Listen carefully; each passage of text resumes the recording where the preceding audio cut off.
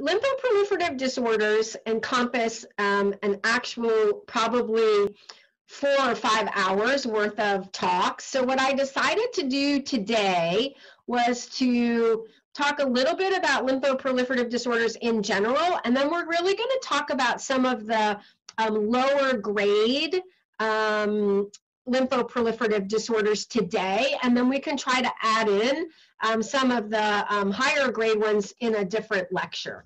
So it's a heterogeneous group of diseases, but the characteristics that they all share are uncontrolled production um, of lymphocytes. It's a monoclonal population, right? A monoclonal lymphocytosis.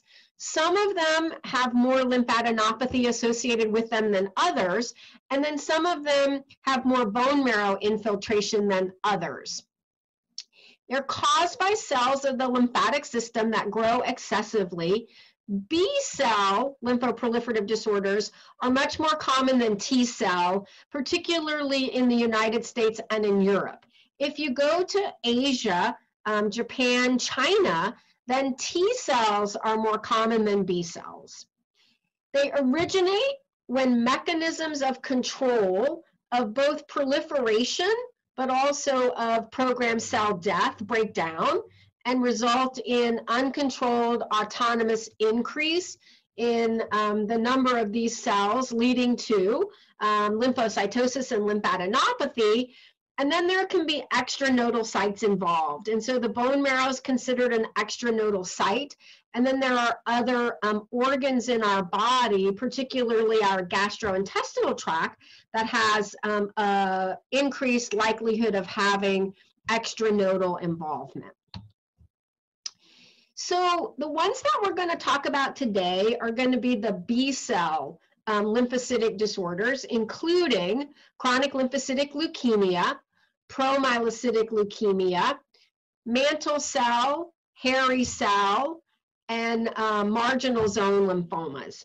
I'm not going to talk about the T cell lymphoproliferative disorders because they're much less common. So what are the clinical features that all of these disorders um, share? Well, interestingly, men are more commonly affected than women. They may be anemic and they may have thrombocytopenia. And anemia and thrombocytopenia in lymphoproliferative disorders can be from really two etiologies. One is that the bone marrow may be so crowded by these um, this lymphocyte proliferation that you just have decreased production of red blood cells and platelets. But the other that you always have to kind of keep in mind is that because this is a proliferation of B cells, and B cells make antibodies, anemia and thrombocytopenia in these patients can be immune mediated or autoimmune. So we most commonly would see a warm autoimmune hemolytic anemia or ITP, antiplatelet antibodies that are being generated by the clone of malignant cells.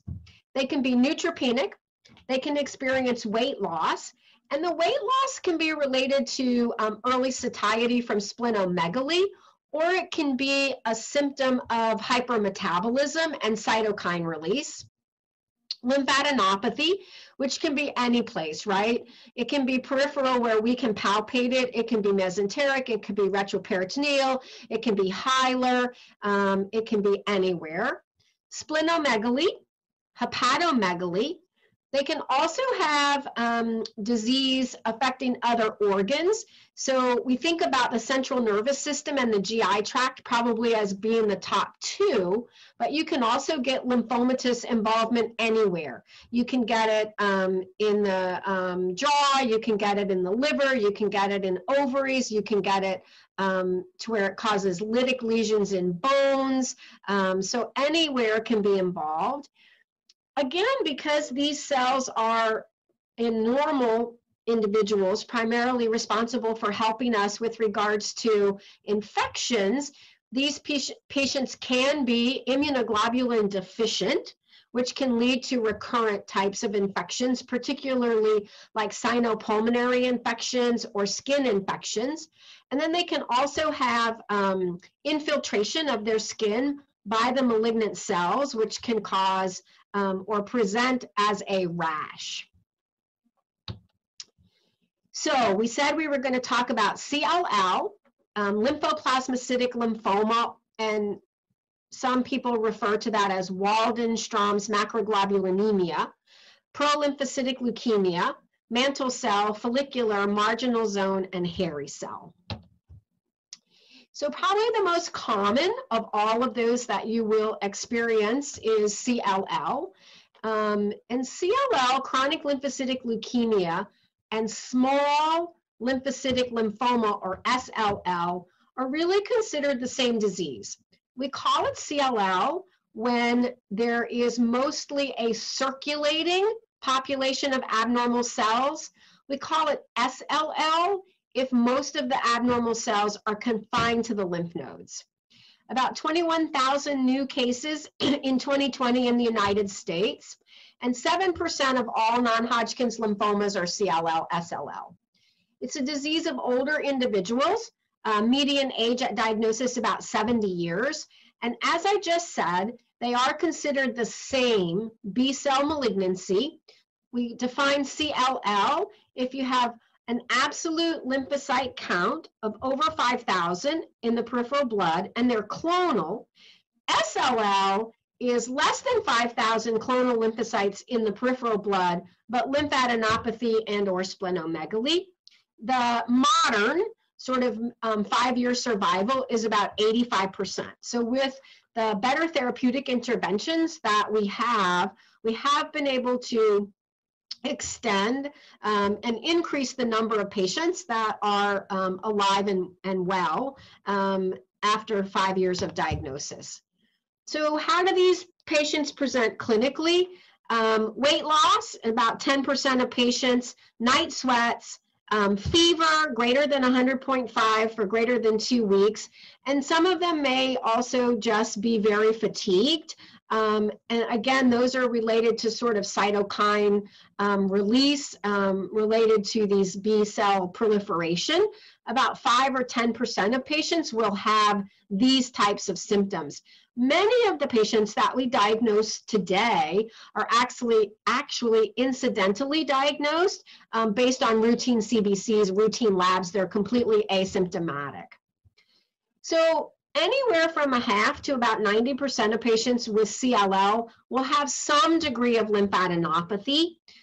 25 to 55% will have splenomegaly, 15 to 25% hepatomegaly, only about 5% will have um, infiltration of their skin by the lymphocytes, which is called leukemia cutis. CNS involvement is very rare in CLL, and that is in contrast to acute lymphocytic leukemia. So less than 1% of patients with CLL will have CNS involvement. Interestingly, they can um, present or develop this exaggerated reaction to insect bites. Um, so what would be normally just a regular little insect bite becomes very inflamed and irritated, and you may even get some necrosis of the tissue around the insect bite. So clonal proliferation of B cells, generally rare in patients less than 40 years old, but and the incidence increases um, with age. Oftentimes, they present with pretty advanced disease, uh, lymphadenopathy, hepatosplenomegaly, because they have been asymptomatic, and so they may present with pretty um, advanced disease. Peripheral blood is invariably involved sometime during the clinical course, and again, absolute lymphocyte count greater than 5,000. And then in the vast majority of patients, the bone marrow is um, also involved. So peripheral blood smear generally is going to show these mature lymphocytes. And remember, the lymphocytes are generally going to be those round cells. They have a pretty high nuclear to cytoplasmic ratio with just this sort of thin rim of cytoplasm. We don't see any nucleoli or other indications of immaturity.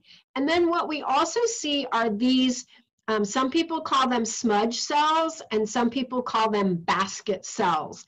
and they are just broken lymphocytes. The CLL cells seem to be a little bit more um, delicate than a normal lymphocyte. And so you can see these smudge cells um, in a peripheral smear. Most hey, of Dr. what we Dr. Brew, I'm so sorry to interrupt. We just realized I, I saw you clicking, but we haven't actually advanced with you on your slides. You have not. Um, why do you think that's happening? Sometimes, depending upon the platform, did you, when you were sharing your screen, did you share just the PowerPoint? What I would say maybe is unshare and then just share your entire screen and then select your PowerPoint. Sometimes it loses the slides. I don't know why. Okay, let's see what I have to do here then. Um, close that. Uh, close that. Okay, so let me come back to you. Um, let's see. I'm so lost. I'm so sorry. No, no, no. This is not your. This is. It's happened to me too sporadically, and I, I don't understand why sometimes Zoom decides it doesn't advance. But if you share your whole screen when you click the share, and then once Okay. you and then you then you go to your PowerPoint and present Share mode from screen. there. Whole screen, hmm share, And now and click now your. open the PowerPoint. Yep. Sorry. No, no, don't really. This is you are not the first, and it will you will not be the last because this just happens. And then so now I'm seeing your display. So if you yep, perfect. You're a pro at that. Now swap. Yep. Okay. And now we see it. Okay. Thank you. I'm so sorry. No, You see thank you. No worries. It happens all the time. We are on um, CLL again. Um, so this is a peripheral blood smear of someone with CLL. Um, small lymphocytes, lots of them, right? You see a, a pretty homogeneous population of cells. And then what you'll also see are these smudge cells. And these are just broken um, CLL cells. Some people call them basket cells. Um, the CLL lymphocytes are a little, a little bit more delicate. So a lot of what we do in lymphoproliferative disorders these days has um, veered away from actual morphology and has leaned heavily um, into immunophenotyping, right?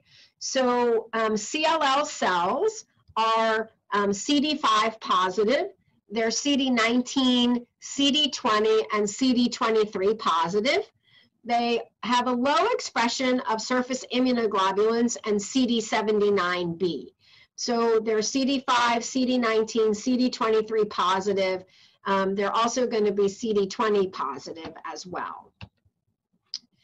So in order to make this diagnosis, we need two um, of the following. Um, a uh, monoclonal uh, B lymphocyte population um, greater than 5,000.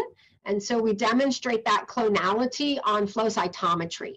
If we're trying to um, diagnose SLL, we um, do a biopsy of a lymph node, and we're going to see those same small lymphocytes that are going to have that exact same um, immunophenotypic uh, marking.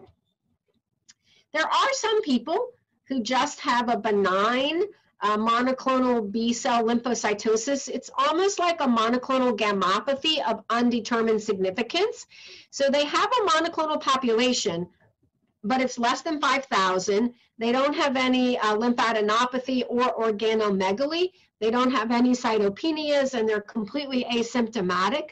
And much like monoclonal gammopathy of undetermined significance is going to progress to uh, multiple myeloma, this will progress at a, about 1 to 2% per year. So if you do detect a monoclonal B lymphocytosis, you do have to continue to follow and monitor patients.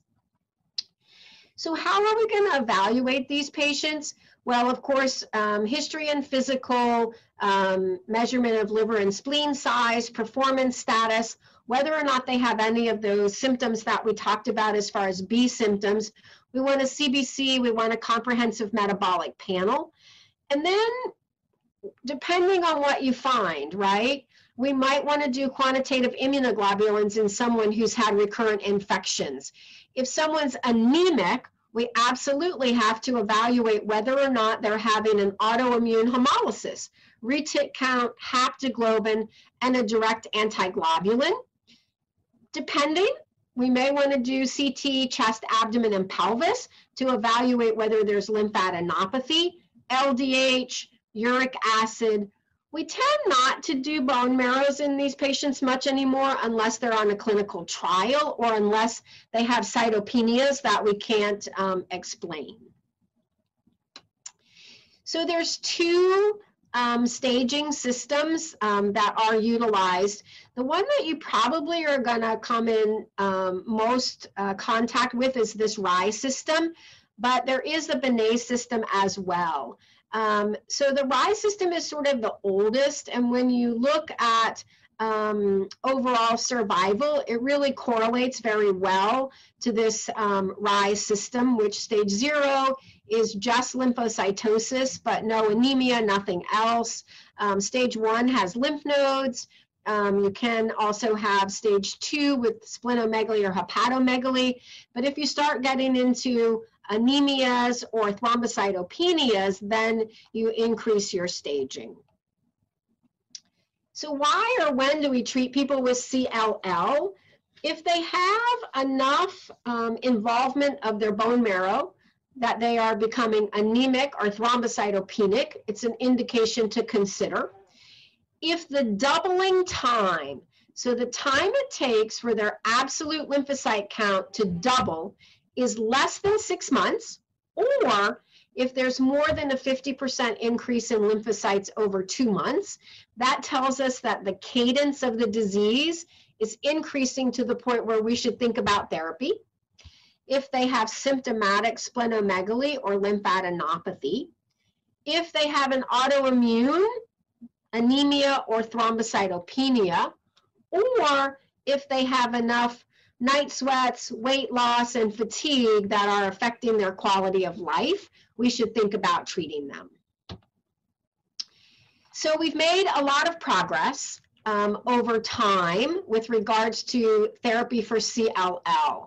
So in the 1960s, we had old-timey alkylating agents, which were chlorambucil and cyclophosphamide, and about 5% of people had a complete response.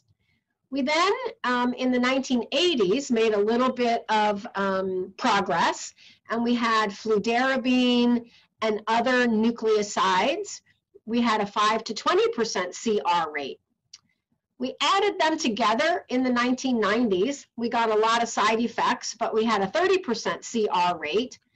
And then um, we had in the 2000s some um, increased um, uh, monotherapy with alemtuzumab. We had bendamustine, and then we had the combinations of chemo and immunotherapy, and our response rates were getting better.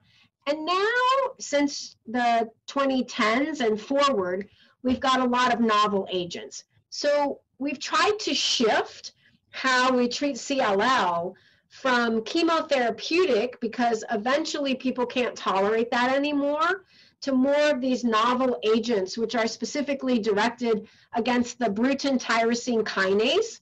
So those are ibrutinib and acalabrutinib. There are PI3 kinase inhibitors like idelalisib and umbralisib. We have the BCL2 inhibitor, which is venetoclax. And then we have a, um, another anti-CD20 uh, monoclonal antibody, which is obinutuzumab. So we've made a lot of um, progress with regards to these um, novel agents, not only in efficacy, but in also in tolerability for patients. So I thought I would show you guys um, this uh, microenvironment and the um, CLL cell um, and how some of these guys work. So um, the BTK inhibitors, which are ibrutinib, acalabrutinib, and zanubrutinib, are going to affect the Bruton tyrosine kinase, which is responsible for signaling within the cell. There's venetoclax, which is going to affect um, apoptosis. And then there are um, PI3 kinase inhibitors, which are um, idelalisib, and umbralisib. And they are going to affect the PI3 kinase pathway. There's also obinutuzumab, And obinutuzumab is sort of an um, uh, type 2 anti-CD20 monoclonal antibody, and it does um, sort of uh, multiple things, right? So it's going to increase direct cell death because it has an alternative binding geometry versus rituximab. It's going to increase um, cell-mediated um, death, and it's also going to decrease um, CDC activity or cell-directed cytotoxicity activity. So it has some properties which may um, make it a little bit of a better option than rituximab. Um, although essentially it's going to be doing the same thing. It's going to be recognizing the CD20, although it just binds in a little bit of a different way. So you may see more and more combinations with obinutuzumab in lieu of rituximab, especially in um, CLL and some of the other um, lymphoproliferative disorders. So treatment regimens, we sort of try to um, divide these patients into high risk and low risk categories. So if you do not have a P53 mutation um, or deletion 17P, you have sort of um, low risk disease. And so we're using a lot of those targeted therapies, right? The BTK inhibitors like acalabrutinib and ibrutinib, or the BCL2 inhibitor, which is venetoclax. And that's in either um, patients who are greater than 65, who don't have a lot of comorbidities, comorbidities, or patients less than 65. If you have higher risk disease, um, P53 mutation, um, or 17P, Still, you're recommending um, these targeted agents, but you're adding in the anti-CD20 um, second uh, generation obinutuzumab. So it's acalabrutinib plus obinutuzumab or venetoclax plus um, obinutuzumab. So switching gears to lymphoplasmacytic lymphoma, it is also an abnormality of small b lymphocytes. But these ones have sort of um, begun to have a little bit more differentiation into plasma cells. And so you see these um, plasma cells in the lymph nodes in the bone marrow and these what we call plasmacytoid lymphocytes. Because of this leaning towards the plasma cells, these patients, Waldenstrom's or LPL patients, usually have a monoclonal serum protein and they may actually have hyperviscosity and cryoglobulinemia. Seeing these cells circulate in the periphery is a lot less obvious than we see in CLL, but we do see these cells in the bone marrow, and it can be a nodular or diffuse pattern. Um, there's an admixture of lymphocytes, plasma cells, and plasmacytoid lymphocells. They're B cells, so they're CD19, CD20, and CD22 positive, but unlike CLL, no CD5 and no CD23.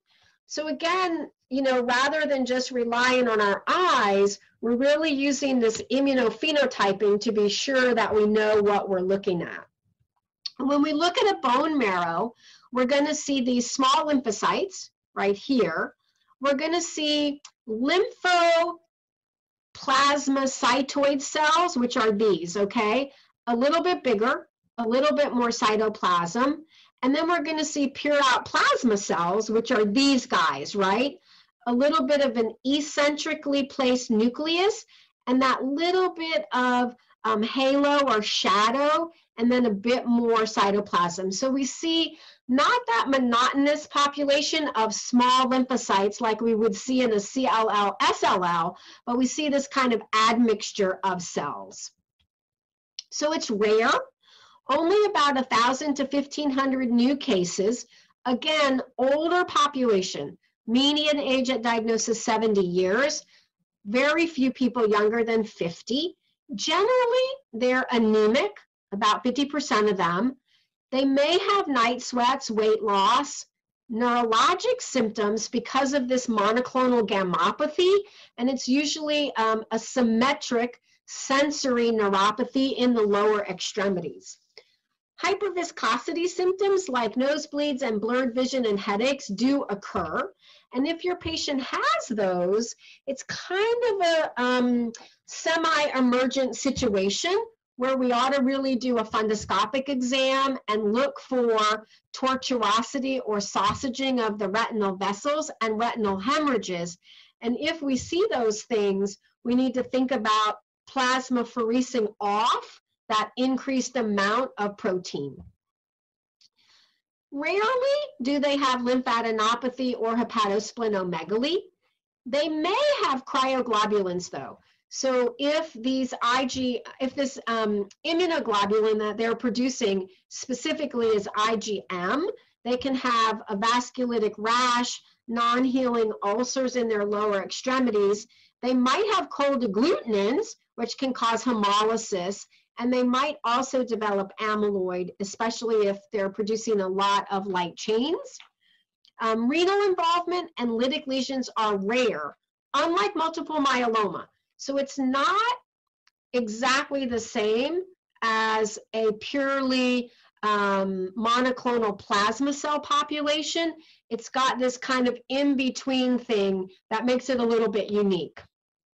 So CBC, liver and kidney function, serum protein electrophoresis, quantitative immunoglobulins, and an LDH. It's made really based on the bone marrow findings in combination with the protein electrophoresis and the clinical scenario.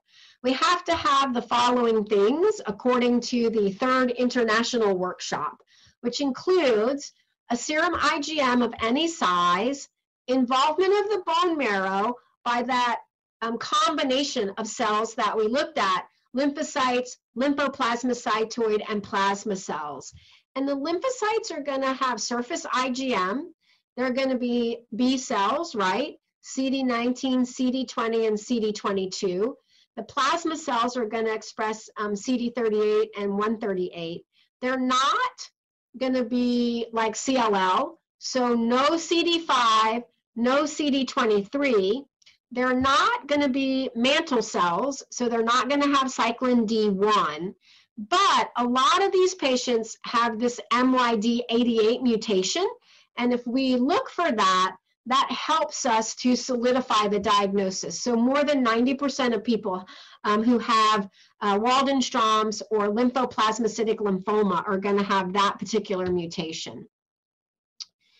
So just like CLL and all of the other um, low-grade lymphoproliferative disorders, we don't have to treat unless we have certain signs and symptoms, right? So again, um, constitutional symptoms, hyperviscosity is absolutely a reason to treat if the serum IgM is greater than three grams per deciliter. Um, extramedullary organ infiltration, peripheral neuropathy, cytopenias, um, symptomatic cryoglobulinemia, symptomatic cold agglutinin, or symptomatic amyloid. And we can look for the amyloid by a fat pad biopsy or organ biopsy for the Congo red stain. And a lot of this is, um, you know, infiltration of tissues by the amyloid deposition. So the peripheral neuropathy can be caused by that um, malabsorption or decreased motility in the GI tract can also be caused by that.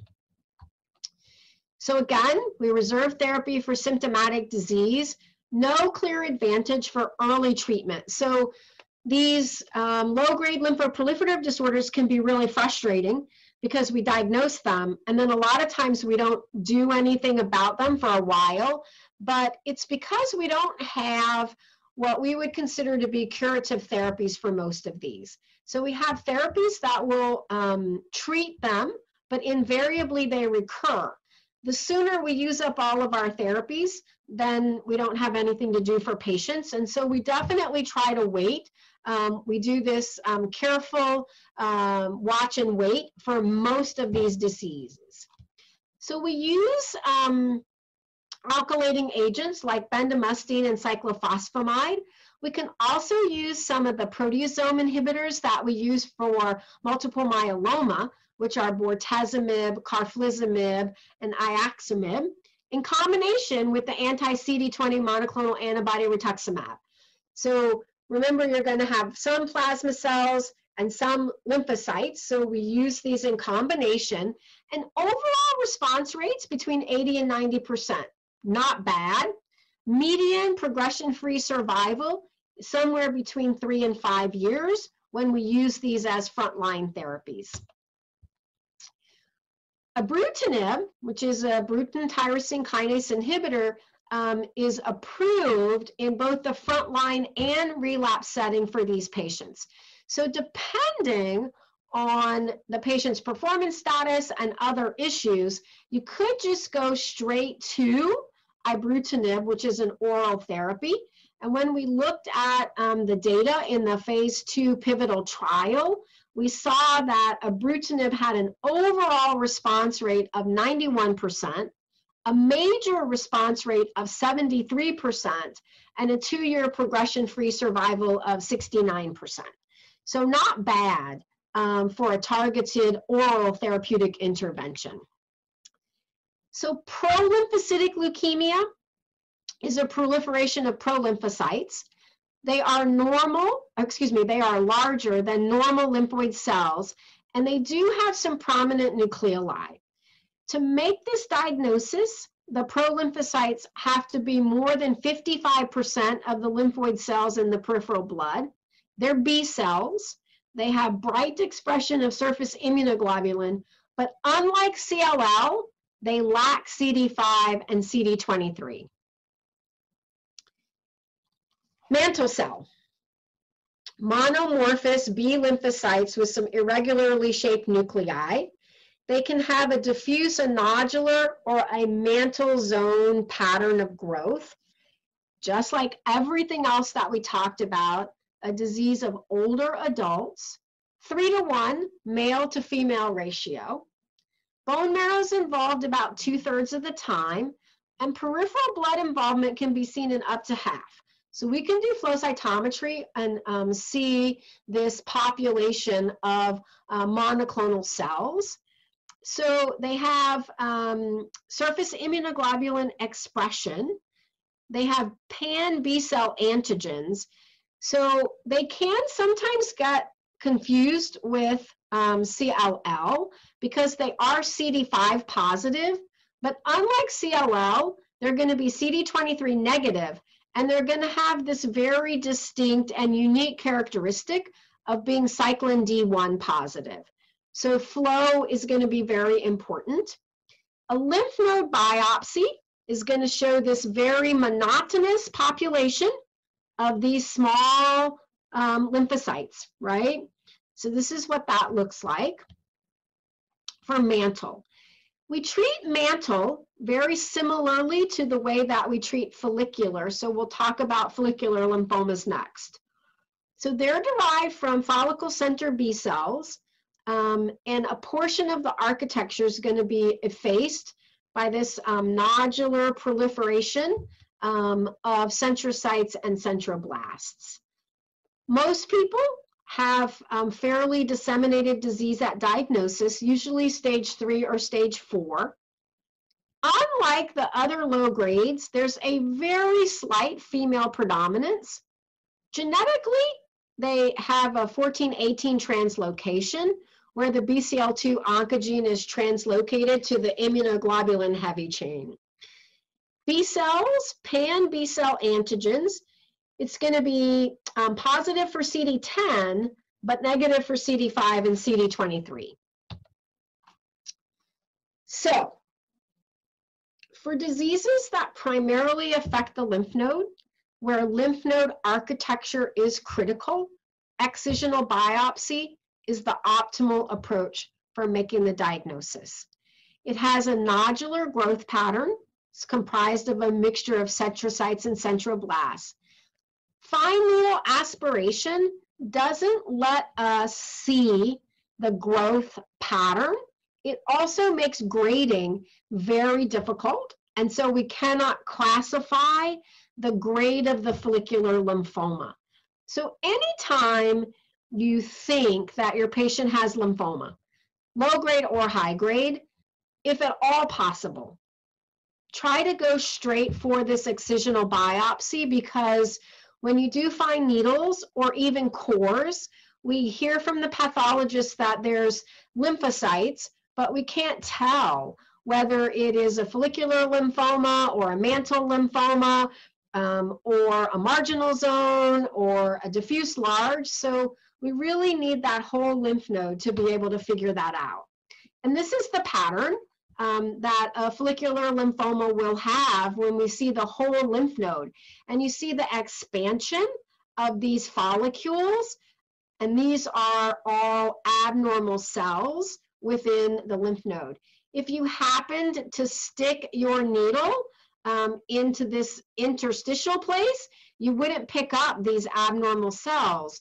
So again, it's really important for that excisional biopsy. For follicular lymphomas, for mantle, um, for marginal, we want to think about what are risk factors, right? And hepatitis and HIV can influence the prognosis for patients. It also can influence our choice of therapeutic interventions. So we want to know what are your risk factors for that? CBC, uh, peripheral blood smear, um, CMP, LDH hepatitis serologies, particularly for B and C, because we need to know this if we're going to give anti-CD20 directed therapy. HIV screening, also probably important. CT scans, absolutely useful. And PET scans are also useful. And the reason we do PET scans in this particular low-grade lymphoma is that there's the potential to upstage anywhere from 10 to 60% of patients, and that may change our management. So if we see things on a PET that we didn't appreciate on CT scans or by physical exam, that may influence our decision to treat a patient and what we treat them with. So the staging system that we use for um, follicular lymphomas is Lugano, and it's one, two, three, four. I apologize for the lack of the V. Um, so stage one is a single um, region or single extranodal site. Um, two or more regions is two. Uh, both sides of the diaphragm is three. And then um, extra lymphatic um, involvement is four. Um, and prognosis changes with each um, increasing stage. But as I mentioned earlier, for follicular lymphomas, we're almost always going to see people in stage three or stage four. So we think of this as being a relatively um, systemic disease, and we tend to not approach it with local therapeutic interventions, but we tend to approach it more with systemic um, therapeutic interventions. So here's a graphing, right, of thinking about first line therapy if it's truly um, stage one or two, you could think about radiation, which would be involved field radiation, um, or you could do watch and wait. Um, if it's a low tumor burden, um, you can also do watch and wait if it's even a higher stage. If it's a higher tumor burden, um, anti-CD20 therapy, either um, rituximab or obinutuzumab with bendamustine, um, lenalidomide, um, or other chemotherapeutic options like CHOP or Cytoxan, vincristine, prednisone. For second line therapy, um, we again can use um, lenalidomide. Um, we can use some of the um, uh, PI3 kinase inhibitors like um, copanlisib or idelalisib. We can do CAR T therapy. Um, we can also think about um, autologous um, stem cell transplants for eligible patients. And in very rare patients, we can think about um, allogeneic um, stem cell transplants. Remember, just like all of the other low-grade lymphoproliferatives, this is, tends to be a bit of an older population. And so we have to tailor our therapeutic interventions to any other um, comorbidities. So when do we treat, right? So high tumor bulk is defined as any tumor greater than seven centimeters, more than three lymph nodes in three distinct areas, which are each greater than three, symptomatic spleen enlargement, organ compression, ascites or pleural effusions. And then there's this GELF criteria, which high tumor bulk, uh, B symptoms, um, performance status, which is greater than one, um, or um, a significantly elevated LDH or beta 2 microglobulin. So in spite of the high efficacy in first line regimens, and so we get a CR rate of around 60%, none of the conventional treatment options are curative. And so there's going to be relapse. The 10 year overall survival, however, is about 71% currently. And a lot of these older patients can anticipate a relatively normal life expectancy, um, even with their follicular lymphoma, succumb to something else not directly related um, to their follicular lymphoma. Um, lenalidomide is an immunomodulatory agent and um, it acts via natural killer cell activation and antibody dependent cytotoxicity of T cells.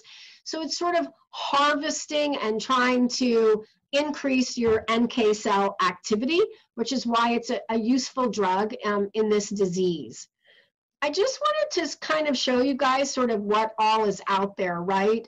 So obinutuzumab with bendamustine, um, Dr. Cheson, who worked here, um, overall response rates in the mid 60s um, lenalidomide plus rituximab, overall response rates again in the 60s, but CR only 20%. If you add in that second generation obinutuzumab to lenalidomide, you get um, CR of 78% and a two-year progression-free survival that's in the 60s. PI3 kinase inhibitors, um, duvelisib, um, CR not very good. Um, uh, this one was I can't I, I can't icopanlisib, which um, CRs of 20%. BTK inhibitors as a single agent, not very good CRs, but response rates that are not bad. Um, if you combine ibrutinib with a second generation anti-CD20, you get overall response rates of about 85%. When we look at antibody drug conjugates, we start to improve our CR rates.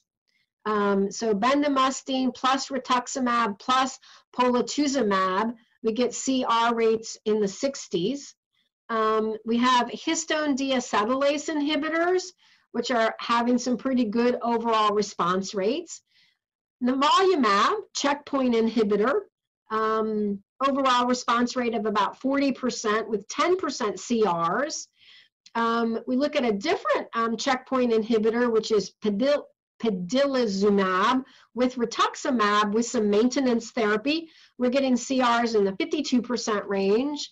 Um, and then with CAR T, um, and these are people, of course, that have um, failed multiple lines of therapy. We had an overall response rate of 89% and a CR rate of 71%. What we don't know about a lot of these more recent studies, checkpoint inhibitors and CAR T, is how long are these CRs going to last? And does this CR actually mean cure? Or does it just mean a longer progression-free survival and doesn't actually change the overall survival for these patients? So that's what we're trying to understand um, specifically about follicular, but about a lot of these low-grade lymphoproliferative processes is, are interventions really curing people or are they just giving us a longer disease-free interval and people are still going to have a relapsing course. And here's just a schematic to sort of remind us kind of what and where all of these things work, right? A follicular lymphoma cell, um, we've got the BCL2 antagonist, we've got BTK and PI3 kinase inhibitors, um, we have the immunomodulator, lenalidomide, um, we've got the CAR T cell, we've got the CD20 antibodies, whether they're first or second generation, and then we've got the checkpoint inhibitors, whether they're PD1 or PD-L1 inhibitors. So marginal zone lymphomas, about 5 to 10% of all non-Hodgkin's lymphomas. This is what they look like underneath the microscope. Again, it's really that sort of monomorphic uh, lymphocytic infiltrate. However, it's not in that nodular pattern like we see in follicular. Proliferation of small B lymphocytes. So we can have three different kinds. We can have extranodal marginal zone of MALT tissue, which is mucosa associated lymphoid tissue. So this is going to be mostly in your GI tract. We can have nodal marginal zones, which are confined to the lymph nodes. And then we can have splenic marginal zone, which these lymphocytes are derived from the marginal zones of the splenic white pulp. Characterized, again, by that monoclonal proliferation of B cells. So they're going to be CD19, CD20 positive, but they're negative for CD5, CD10, CD23, and CD25. They're also going to be negative for cyclin D1. So we really need an excisional biopsy again, um, gold standard, right? Chest, abdomen, and pelvis CT adequately stage. Because this is such a low grade disease, PETs may not be particularly useful because they have really low um, FDG avidity. So you may not get a lot more information in a marginal zone from a PET versus a CT scan. So with gastric marginal zone, a lot of that is going to be associated with H. pylori infections. And the initial therapy is treatment of the H. pylori. About 75% of patients will um, have remission of the lymphoma if you're able to eradicate the H. pylori. So it's the infection that is um, stimulating and, and antagonizing the immune system to the point where the lymphoma is apparent. If you get rid of that stimulation, the lymphoma will resolve. If patients have disseminated disease, but they're asymptomatic, then you can observe them until they become symptomatic. For symptomatic people who require therapy, They've got ulcers, they're having GI bleeding, they're having obstruction from masses that may develop in the small intestine or other places. Then you can use rituximab alone or in combination. And patients who relapse after rituximab combination therapy can um, receive the BTK inhibitor ibrutinib. So it is FDA approved for relapsed or refractory marginal zone. And last but not least, hairy cell. Um, so unlike our other leukemias, um, hairy cell rarely has an increased white blood cell count, and almost all of these patients are going to present with pancytopenia. They almost always have splenomegaly. And when we look at their bone marrow, these cells have what's called a fried egg appearance. Oftentimes we don't get any aspirate. So we try, try, we get a dry tap because of the fibrosis that's there. But when we do a biopsy, we'll see these cells. They are B cells and they express CD19, CD20, but they're negative for CD5, CD10, and CD23 but they are positive for CD25 and CD103. So they have a characteristic uh, immunophenotype. In the peripheral blood, if you're lucky enough to um, see a hairy cell, they're going to look like one of these top two, right? A little bit higher magnification here. And they have this um, rough looking or hairy looking cytoplasm. In the bone marrow biopsy, they look like this. So unlike those previous ones we were seeing with those small lymphocytes all kind of crowded together, these guys have all this clear space. And some pathologists thought that this looked like a fried egg, um, but they have all of this clear space. It's very characteristic um, for um, hairy cell. So um, four to one male predominance and whites are more often affected than other races. One thing that sometimes shows up on boards is that um, hairy cells have a very specific um, isoenzyme that they express called tartrate resistant acid phosphatase or TRAP. So we used to do a TRAP stain on hairy cells to look and make the diagnosis before we had immunophenotyping. So hairy cells are going to be TRAP positive. It's indolent. Not all people need to be treated. We treat people who have symptomatic splenomegaly, early satiety, abdominal discomfort, etc.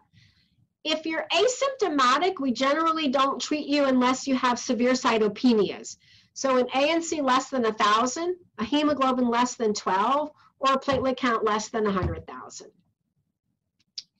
Dramatic changes in hairy cell treatment with the introduction of um, purine nucleoside analogs because we can achieve CR with durable remissions.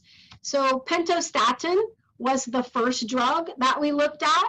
The second one is cladribine, and either cladribine or pentostatin are now the first line treatments and have really altered the course of this disease from being sort of something that people had to kind of deal with, low grade chronic, to truly um, very long duration CRs and or cures. The next breakthrough was the discovery of this BRAF pathway as a major driver um, in patients with hairy cell. Um, and they almost all have this BRAF V600E mutation. Um, it's been seen in a number of solid tumors, and it results in constitutive activation of BRAF and increased gene expression. Um, and so people are trying to now target this specific mutation as a next generation of therapeutic options um, for patients with um, hairy cell. So new developments.